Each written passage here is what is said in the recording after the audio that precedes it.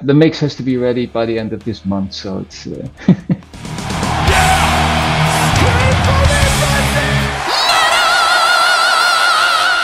We're watching The Walking Dead now, and it's 11 seasons, and we started all the way from the beginning again. So that Oh, wow. will take up uh, the next month. yeah, yeah, yeah, yeah, yeah. Okay, does that mean that uh, the the the next uh, Arjen uh, Lucassen album, uh, whether it's Star One, Arjen, all or zombies, else, man. it's all zombies? Blood and guts, and, and I mean, with, with Ed Warby, you've got a guy that can do some you know, there you go. grindcore drums anyway, there, right? There you go. Yeah.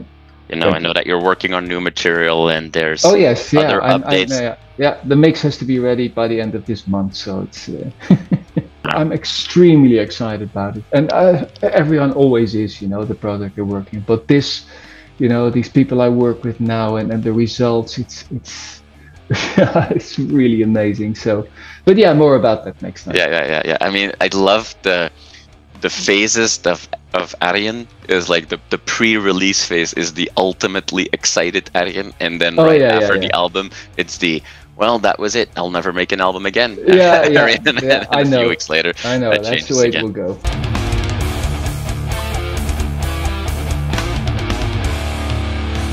You are awesome for watching this video. Click right here to see more content like it and subscribe to the channel.